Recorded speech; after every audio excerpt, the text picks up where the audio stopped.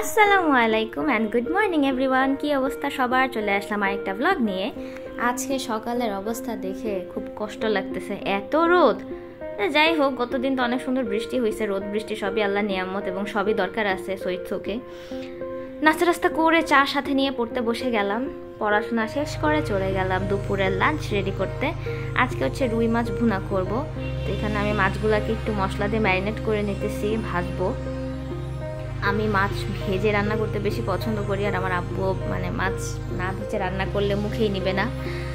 তো যাই হোক, মাছগুলোকে এখানে আমি ভাজার জন্য দিয়ে দিলাম। অ্যান্ড ভাজা হয়ে গেছে। এখন হচ্ছে আলুগুলো একটু ভেজে নেব। আমি রুই মাছটাকে আলুর সাথে রান্না করব। আলু দিলে একটু খেতে মজা লাগে। আর আমাদের বাসা সবার আলু অনেক পছন্দ স্পেশালি আমার আর আমার ছোটো বোনের। তো আলুটাও আমি একটু হালকা করে ভেজে নিয়ে তারপর তরকারিতে দেবো। তাহলে আরও বেশি মজা লাগে খেতে। অন্যরকম একটা ফ্লেভার আসে। মানে ব্যাপারটাই অন্যরকম। তো যাই হোক, এখানে আলুগুলো ভাজা শেষ। এখন হচ্ছে তরকারিটাকে একটু রান্না করার জন্য মশলা টশলা কষায় নিতেছি। একটু টমেটোও দিছি আমি। একটু ট্যাঙ্গি ট্যাঙ্গি লাগে, খেতে ভালোই লাগে। আর রুই মাছের সাথে, কাতলা মাছের সাথে এইসব মাছ বা যে কোনো মাছই আর কি, টমেটো দিলে কিন্তু মজা লাগে। তো এখানে আমার মোটামুটি মশলা কষানো শেষ। এখন হচ্ছে আমি ফার্স্টে আলুগুলাকে একটু জাল দিয়ে নিব, পরে আমি মাছ দিব। মাছ একদম সবাই লাস্টে দিব, নাইলে আবার ভেঙে গলে যাবে একদম। আর আলুগুলো যেহেতু আমি হালকা ফ্রাই করছি, তাই জন্য আলুগুলো একটু বেশি কষা দরকার। আর একটু কষাই নিলে হবে কি, আলুর ভেতর পর্যন্ত মশলাটা ঢুকবে। তা আলুগুলো এখানে মোটামুটি কষানো শেষ। এখন হচ্ছে আমি মাছগুলো দিয়ে ঝোল অ্যাড করে দিব। ঝোল হচ্ছে অনেক বেশিও দিব না, কমও দিব না মিডিয়ামই দিব। অ্যান্ড এখানে হচ্ছে আমি আলুটাকে ঢাকা দিয়ে দিছি একটু। এর পাশে আমি একটু শাক রান্না করতেছি। আর শাক হচ্ছে আমাদের বাসা ডেইলি রুটিন আমার আব্বু শাক অনেক পছন্দ, আর আব্বুর প্রতিদিন এমনিও শাক সবজি খাওয়া লাগে। তো সবজি না থাকলে শাক দুইটার একটা। তো এখানে শাকটা আমি একটু রসুনগুলাকে তেলের মধ্যে হালকা একটু ফ্রাই করে হাফ বয়েল করে নিয়েছিলাম শাকগুলা। তো এটাই হচ্ছে এখন দিয়ে দিলাম। শাক রান্না খুব ইজি এখানে কোনো ভেজাল নেই, কিছু নেই। ইজিয়েস্ট ওয়ে আর ইজি সবচেয়ে। তো যাই হোক, এখানে রান্না বান্না সব মোটামুটি শেষের দিকে ভাতও রান্না করে ফেলছি। এখন রান্নার পরে মোস্ট ইম্পর্টেন্ট কাজ, রান্নাঘরটা ভালো করে মুছে দেওয়া স্লাব উপরের শেলফ নিচের শেলফ নাহলে ভালো লাগে না দেখতে, কারণ রান্না করতে করতে নোংরা হয়ে যায়। তো মুছে টুছে এখন আমি চলে যাব গোসল করতে, নামাজ পড়তে। দেন লাঞ্চ করব।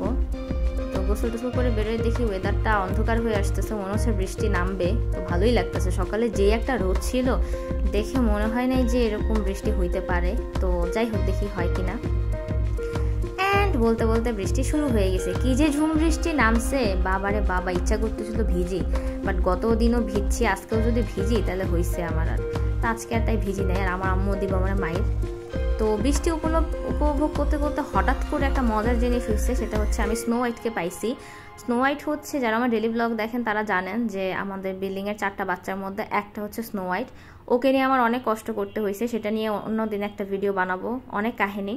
তো ওকে হচ্ছে আমি অ্যাডপশনে দেওয়ার জন্য হচ্ছে অনেক ইয়াটিয়া করছিলাম, আর হঠাৎ করে ওনা কোথায় জানি হারাই গেছিল, আমি ওকে পাচ্ছিলাম না তো পাচ্ছিলামই না।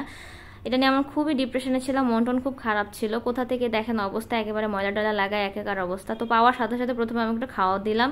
দিয়ে যারা অ্যাডপশনের জন্য নখ দিছিল, তাদের মধ্যে একজনকে আমি ঠিক করে তাকে দিতে যাচ্ছি। এখনও কিন্তু বাইরে প্রচুর বৃষ্টি বাট এই বৃষ্টির মধ্যে আমি নিয়ে যাচ্ছি। কারণ হচ্ছে ওকে বাসায় রাখা পসিবল না। আর বাইরে যদি রাখি, ও আবার কোথাও যদি হারায় যায়, এই ভয়ে আমি জাস্ট কনফার্মেশন পাওয়ার সাথে সাথে ওকে একটু খাওয়াই দৌড় দিছি।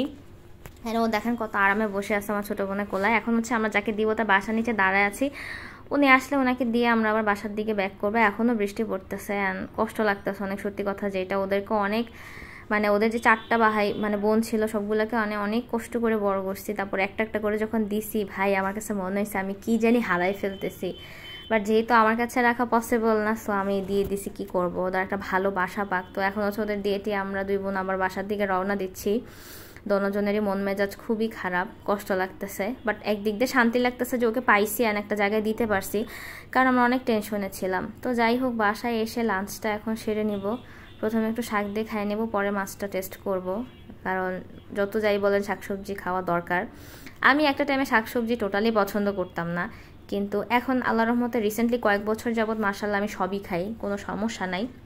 খাওয়া দাওয়া শেষ করে আমি চলে আসছি আমার আলমারি কাপড় চোপড় গুছাতে। আমি হচ্ছে অনেক গুজগাছ পছন্দ করি যে মানুষ মানে একটা সুতো আমার এদিক থেকে ওইদিক থাকতে পারবে না। তো দেখা যায় কি, যখন একটু খুব র্যান্ডাম ভার্সিটি থাকে বা ব্যস্ত থাকি গুছ গাছটা ওভাবে আলমারিটা গোছানো হয় না।